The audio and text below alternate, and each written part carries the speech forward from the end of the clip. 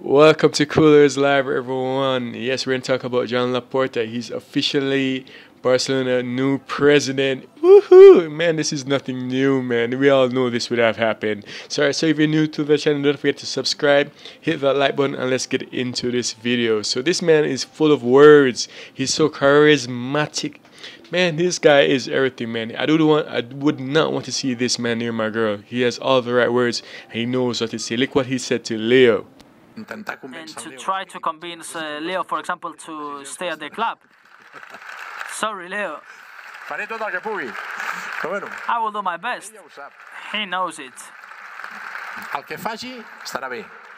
Però nosaltres intentarem, doncs... And we're gonna try, of course, to convince him to stay here because he's best player in history. And sorry for this reference, but I love you and el Barça t'estima molt. Barça also loves you. I si hi hagués aquest camp ple quan jugueu... And imagine with this full crowd, you, la, la pandèmia you cannot go. This pandemic, of course, is affecting a lot.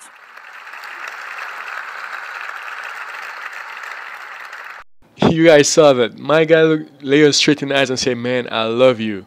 I'm to try my best to keep you here. And wow, that's very fantastic. I would want to see this guy near my girl, bro. No cap. right? So he said a lot of things, right? So I'm just to get straight into it. So he said that we are a club that is admired how we play and respect for our history and furthermore loved. Right, that is definitely right. We're Barcelona, we're the most prestigious club in the world. He also said that I hope this will be a wonderful stage for Barcelona in history. Right? For this is this is great. Laporta is so amazing. He also said he will make effort to build a team that wins everything and wins by playing well. Definitely that what it means to play for Barcelona, that what it means to be a Barcelona fan, to witness beautiful football and win trophies in style. Right? He also said we have to prioritize priority of making Barca economically sustainable again. Right, so he's prioritizing that. He's going to plan to get more sponsors. UNICEF is one of them, right? They used to sponsor Barcelona back in the day when Laporta was here, so he planned to get them back, but we need more. We have like 25. Juventus have like 45. Laporta wants to get around like 39 the least. Well, 35, my apologies, right? So, my, he looked messaged me in the eyes and like, bro, we got you right? He's planning to do a lot of great things for us, right? He Piqué was there. He was again embracing Piqué, Roberto, Messi. Messi was blushing. This is crazy, guys. And there were news report that if Laporta doesn't get the 125 million dollars by tomorrow, which is today, he would not become Barcelona president, and the election would have to be give election would have to be started over again. But look at that. They can't stop Laporta. He said he was confident within getting the money, and now here we are. My guy also said that, that Laporta was saying he was focusing on the basketball team, the women's team, the tennis team, all the other teams. He's showing that everyone is important.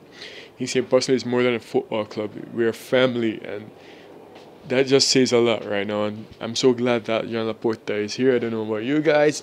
Ice he's not done a Xavi, Xavi, Xavi. He has a lot of things he's gonna get done for us, man. And I mean, there's gonna be some videos at the end of some of his most important speeches, guys. But man, I'm so glad that Laporta is here. And he's officially now Barcelona's president. He's counting on Koeman, and he's gonna get some good signings. Haaland, we're coming for you, bro. We're coming for you. But I'm so glad that thank you to all everyone for the support and everything. Let's get into the speeches. We want to win titles. And Ronald, you know that you have all my confidence. And we hope the team are improving and we are really excited that this will continue growing. Club